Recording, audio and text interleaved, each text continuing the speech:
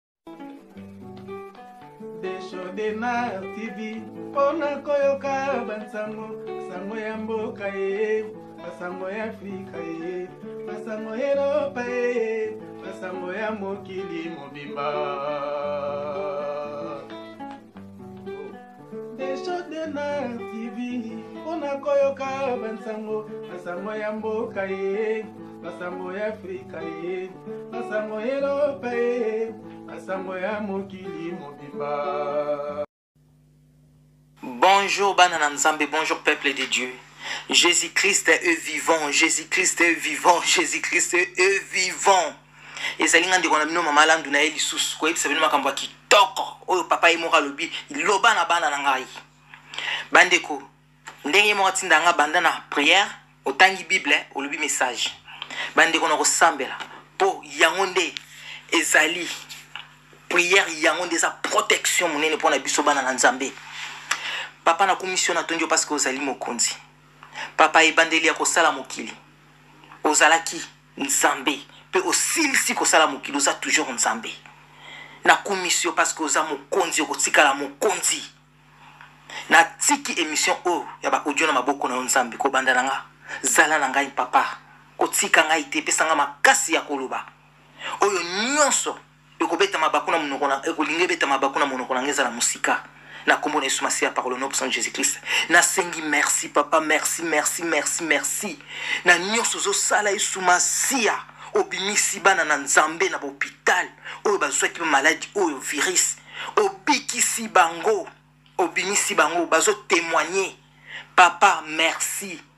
ata bango ba témoigner te ngai ata basengi merci te ngai nazosenga merci merci na oyo osali papa merci na ndenge obimisi bana na yo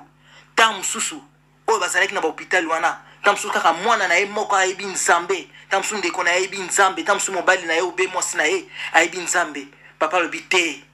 moto oyo nakotika ye te akufa na maladi oyo aza na motu moko na famille na ye ayebi nga tika na bimisa ye na kati na hopital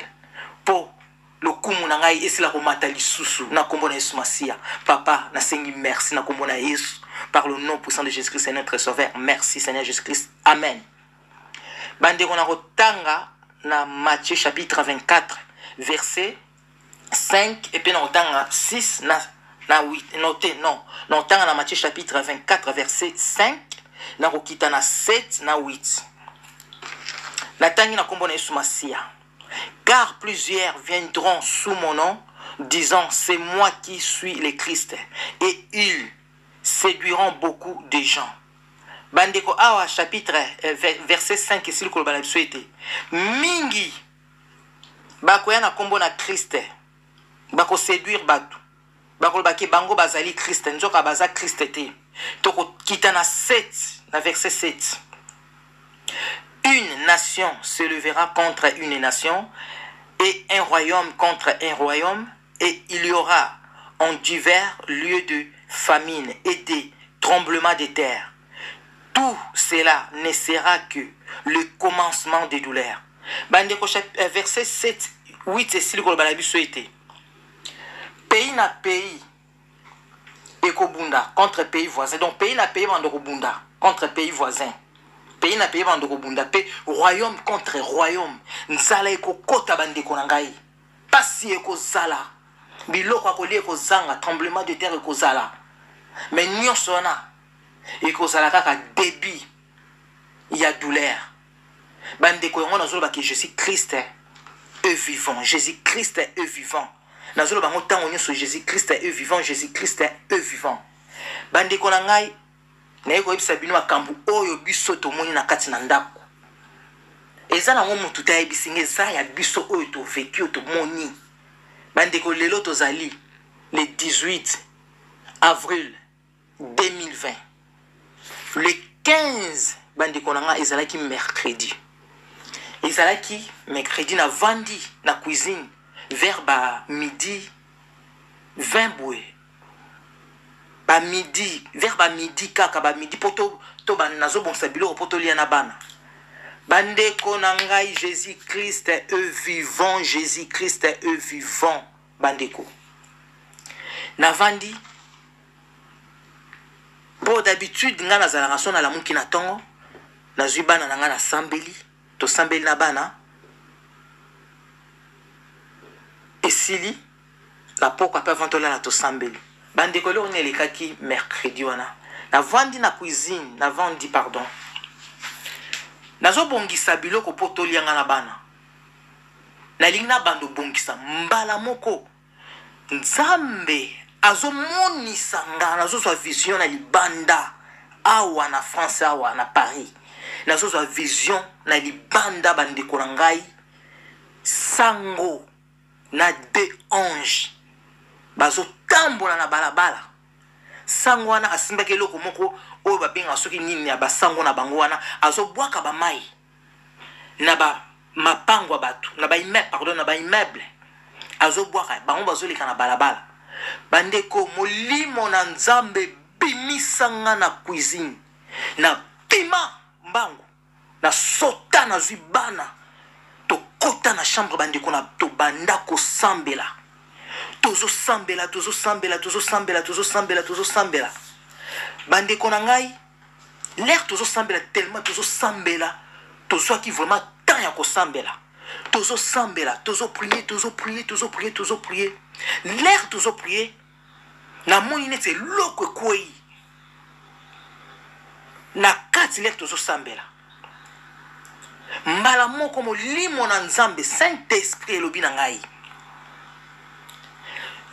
eh, eh, saint esprit elobi na ngai Botanga Psaume 35 sept fois na mwana moko moko. Bino nyoso mutu moko moko atanga Psaume 35 sept fois. Bandeko, nalobi na bana batanga Psaume 35 eh, sept fois. Oyo ya liboso atangi, donc biso nyoso totangi yango sept fois. Esili wana siko molimo na Nzambe moto ezogide nga. Nayoki Saint-Esprit ezoloba na nga na matoyi. Zwa epe beta place omoni eloko wana ekwei beta yango sept fois bandeko foza na kondima nazwa loboko na ngai na tombola nalobi nazobeta epe oyo na place eloko ya mabe esili kokweya na nkombo na yesu masiya eza na pouvoir moko te na ndako na ngai ni na bana na ngai ni na famille na ngai na nkombo na yesu masi yo non puissant de jésus wana nabeti yango na se set fois kaka nde nalobi boye wana so nalobi nabeti yango set bandeko molimo na nzambe ezogide nga toujours nasilisi kobeta yango set fois epe molimo na nzambe elobi na ngai lisusu sopa le sang de jésus christ cette fois na place oyo yo moni eloko ekwei bandeko bana na nzambe nazwi nazwi nazosopa makila na yesu masiya oyo esopanaki na ngomba ya golgota oyo motoki na ye ekomaki makila Nazo sopa yango place eloko ya mabe ekweyi na kombo na Yesu Masiya au nom puissant de Jésus Christ. Bandeko nasali yango sept fois. Nayokisi moli wana bana bazo sambela nazo yebisa bango bo continuer kosambela bo continuer tozo continuer kosambela molimo na Nzambe elobi na nga susu toujours Saint-Esprit l'Esprit de Dieu kobanga eloko te wana eloko yango edeplace wana saint esprit ezo parle nga kobanga eloko moko te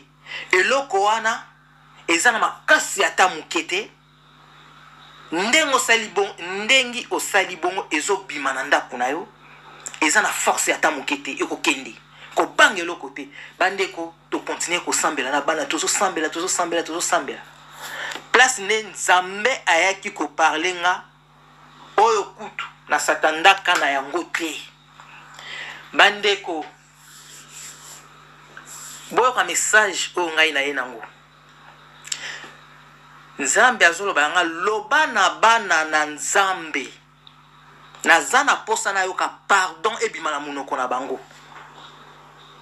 bozoyoka bana na nzambe Loba na bana na Nzambe nyonso basenga pardon epayi na ngai Nzambe. Bandeko, pardon yango eza ya, ya nini? Boyoka. Bandeko na ngai, naloba nanu makambo ya pardon message oyo après tokozonga eloko wana soki ezalaki bandeko nini. Bandeko na ngai, nzambe aza malamu jesus christ e vivant nzambe azoloba nanga loba na bana na nzambe basenga pardon basali makambo sa volonté na bango baconsulte nga nzambe te batuni na nzambe te basali makambo selon volonté na bango nga na bino bana na nzambe tosali makambo sans tuna nzambe tosali na volonte na biso ya bata mokili makambo yango eza nini suki oyo ebimaki na bible bandeko na nga oyo ebimi na afrique ebimi partout na afrique ebimi suki na bible bozwa suki botya na mai bomela bino nyonso na famille ekoeloigne maladi oyo na Senegal ebimi bozwa suki bosokola ekoelwane bino ba virus oyo na bato ya ba, ba musulman ebimi na Coran bango mpe basali Nzambe na lola bana na Nzambe Nzambe alobi loba na bana na Nzambe basenga pardon biso nyonso tosali mabe donc faut tosenga pardon epai na nzambe eza na bato ebele basali yango nga nasalaki na ngangu te mpo nzambe alobaki na nga eloko te donc nazali mpe na ntango kosala yango te mpo namonaki eza nango makambo ya lokuta so omona suki ebima na kati ya bible babina bino bozwa bomela bo bomela yango bozwa mai botya bomela ah ngai nasalaki na ngango te parce que nayebi ke jésus christ moto asalaki ngai ya mokili ye moto asalaki likolo na se eza suki wana te moto esalaki biso na mokili nasalelaki na ngai yango te bandeko na nga tosilisi wana lere nabandaki kosambela na bana lere nzambe azoloba na ngai eloko wana ebimi na ndako na yo papa bandeko Wana tozosambela nayoki batu na immeuble na biso na se bandeko bazosolola naganga nabi nzambe mawa batu bazali na se ya immeuble na biso bazosolola bazoloba protege bango nzambe na lola Protégé, Seigneur Jésus-Christ, protégé. Saint-Esprit ozo parler nga na matoi. Mutu nyonso akokufa te. Bandeko, ezalaki eloko nini oyo ekotaki na ndako na nga, eloko nini oyo basango babandaki kosala. Bandeko sikoyo boyoka oyo nakoyebisa bino. Eloko wana ekotaki na ndako na nga, molimo na Nzambe ezoloba na ngai, ezalaki Monstre ya virus ewuti wapi ewuti na notre dame de Paris. Tozonga mukie na sima notre dame de Paris etumbaki ezi kaka molimo na nzambe ezoloba nzambe azobala nga notre dame de Paris na brulaki yango mpo na mabe elekaki mingi bango. Yango wana basango bazalaki content na yango te, colère na bango baye kosala baye kobimisa virus oyo eboma nini bana na Nzambe. Basukisi wana te bandeko. Bakangi ba eglises, bayebi ke soki eglise ekangami, mwana na Nzambe akozala na makasi ya kokende eglise te, kosambela te, akovanda na ndaku, comme ça ba profiter. Or ke kutu bapesaki nde biso bana na Nzambe makasi, ba chretiens makasi ya kosambela. Bomoni ndenge batu babimi na ba balabala, bazofukama, bazolela epayi na Nzambe, bazosambela. Bozoyoka? wana molimo na nzambe moto ezoloba na ngai virisi oyo bato baye nango bato ya katolike sango oyo azoleka na babalabala na baange mibale baange de mort bazokoleka mpo baboma bato ndenge bazosala bongo ndenge bazoleka mpo babomaka bato lo eh, mercredi yango nalingaki nabima bandeko molimo na nzambe elobi na nga kobima te tikala na kati ya ndako zala na ndako na bana bandeko nabimaki te nzambe Aza bolingo azali malamu bandeko na ngai nzambe aza malamu yango nazoloba fo tosambelaka message moko susu nazwaki nzambe azoloba na ngai tosambelaka na tongo na midi na pokwa bandeko toza confine na kati na bandako soki omoni na midi okoki koprie te bozwi famille mobimba na pokwa Bosambeli mais na tongo bozangisa prière te bandeko na nga. Na pokwa pe bozangisa te avant bolala. Bosambeli. Bandeko Nzambe aza malamu. Jésus Christ est vivant, Jésus Christ est vivant. nazoloba yango ntango nyonso jésus christ est vivant jésus christ est vivant tala nzambe ndenge asalaka makambo na ye epuis bandeko esilaki te tala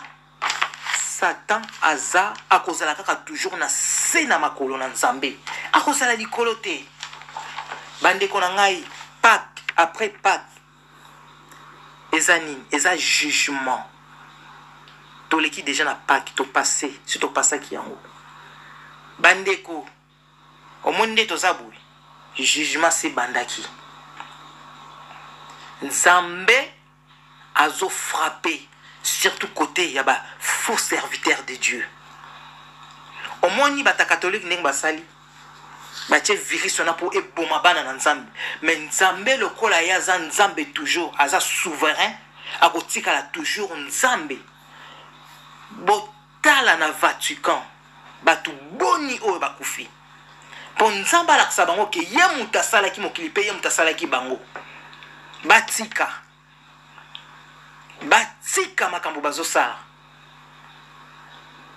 Nabanzi message oyo nazoyebisa bino ya katoliki oyo Nzambe akomonisa yango na basali na Nzambe mosusu. bako temoigner na bako temoigner na kombo na yango na kombo na Yesu na bato ya katolike bokanga makambo nazoloba oyo nzambe akomonisa yango na bana na ye epui mpe kozala na bato bakoleka liboso bakotemoigne makambo oyo bato bakoleka liboso bakotemoigne ke katolike moto eye na virus oyo bandeko eloko na koloba soki bomoni mosali na nzambe na youtube na internet azo ko insulte ba femme ba frère aza mosali na nzambe te ye moko azo komiyeba te molimo na nzambe ezo ezo pousse ye ezo bimisa misala na ye mabe Po bato na mokili ba yeba ndengi ya zali mais ya zo comprendre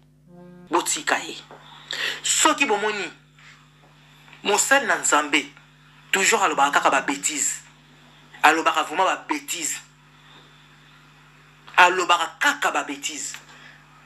bandeko nzambe azopuse ye mpo tomona toyeba wapi ya nzambe wapi ya nzambe te me bayebaka yango te toujours Soki bomoni mosali na Nzambe azosambela na fulu na place ya salite, azali mosali na Nzambe te. Bomoni temps tokomi nango, eza temps ya suka te bandeko, bolimbisa, eza temps ya suka te, eza fin du monde te. soki bomoni mosali na nzambe azosambela na fulu bandeko na moma oyo toza nango azosala priere te azosambela nzambe te azokoinvoke bato ya mabe mpo baboma bato oyo baza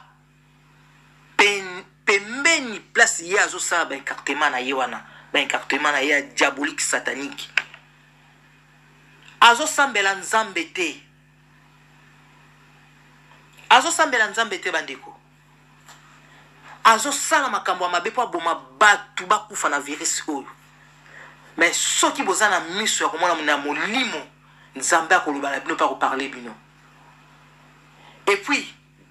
Mosali na Nzambe oyo azo sambela na place ya salite. Nzambe ako frappe ba ndimi na ye. Boko yoka combien oyo bako kita. Parce que ye aye ko sambela na place ya salite na fulu. fulu wana eza bato bazoleka ezalaki na biloko ya mabe te ye aye atie babiloko na ye ya mabe mpo asakrifie bana na nzambe oyo baza penepene wana na bandako bakufa me nzambe amonisi yango na bana na ye ekozala Batu oyo wana baza penepene te bango temo bakokufa ekozala le contraire ekozala batu oyo ye ateyaka na eglise na ye bango nde mutu nzambe akoboma parce que place wana ye akendaki ake kotya babiloko na ye mpo aboma batu nzambe mpe aza wana akozwa contrôle na bato nyonso baza pembeni wana mais bazala na molimo na nzambe oyo bakozala wana bayeba nzambe mais soki oyo bakoyeba nzambe te baza penepene loba nzambe asauve bango lokola azali nzambe ya mawa bandeko nakoyebisa bino so eloko mosusu ezoleka botala tobandaki ke makambo ya basuki wana ya basuki bandeko na nga oyo ebimaki na bible esili te wana ebimi wapi na afrike bongo bandeko na oyebisa bino awa na europe eloko nini ezoleka awa awa na europe eloko nini ezoleka bandeko na banlie eloko nini ezosalama na babanlie na paris bandeko jésus christ est eux vivant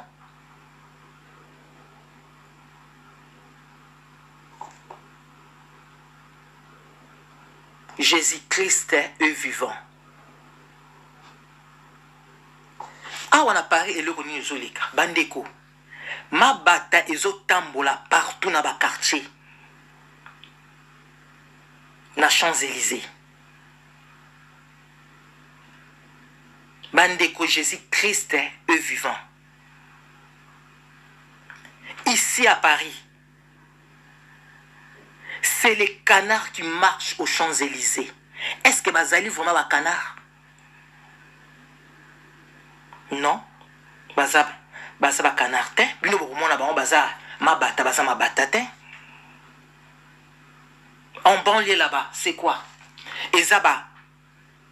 zèbre ezo marche na baville bavache ozomona mpe vache yango avec des corne bacorne ya milai bandeko na bapone hein? na bangulu ya zamba bandeko oh jésus christ est vivant bandeko na nga na afrika eloko nini ebimi basuki na bible awa nde biloko wana ezomarche bandeko bana na nzambe na ntango bokomona yango na internet boregarde yango te botala yango te eza ba anges sataniques oyo ezo mema ba virus oyo ezo boma batu boyoka na na nako explique nkutu ndenge nini na litoi ya molimo donc soki ozali na molimo na nzambe te bandeko ko comprendre makambo nazoloba te oyo bozomona bacanard wana ezo marche ezo kotambolaka na baville en plus ndenge eza wana ezotambola quartier par quartier ndenge nazwaki message epai na nzambe virus ezotambola quartier par quartier awa na france dernièrement molimo na nzambe eparlaki ngai ezalaki na 13e arrondissement nzambe azoba na ngai na 13e bato ebele bakokufa donc ezo marche quartier par quartier mais jésus christ est vivant bandeko nzambe azwa lokumu azwa vraiment lokumu jésus christ est vivant oyo bango basali bakanisaki nzambe akomonisa yango te Nzambe amonisi yango. Ba ndeko jugement s'ebandaki. Semaine oyo eza semaine moko ya jugement. Kangama na Nzambe. Oyo boyokaka ke nzembo bayembaka kiyungula kiyungula donc Nzambe abandi koyungula oyo ya ye. Bakotikala. Oyo ya ye te bakokita. Surtout na ba faux pasteurs. Bosakani na bana na Nzambe mingi. Bobomi ba familles na biso mingi. Bozo continuer kotia biso ba malade na nzoto. Nga nayebi eloko te o. Natambola na kobanga Nzambe. Nayokaka oyo Nzambe alobaka na nga. Sala boye nasalaka. Naza na droit te ya koboma mutu, naza na droit te ya kosala mutu mabe mais nazali na droit ya kosambela pona mutu abika. Jesus Christ est vivant. Nazali pe na droit ya kosalisa batu. Jesus Christ est vivant. Bandeko na nga, yango wana nasukisi awa. mbala nsima soki nzambe alobi na ngai mwana na ngai leka loba boye na koloba mais oyo ndenge nasali audio boye nakosala yango susu video parce que chaque fois ndenge tolekaka boye totemoignaka ndenge tozodenonse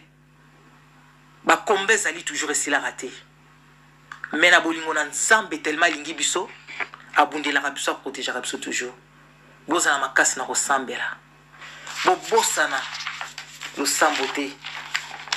ata bango bayaki babebisi bana baye na misala bango ya mabe pona basala bana na nzambe mabe nzambe abanda kobundelaka biso kaka toujours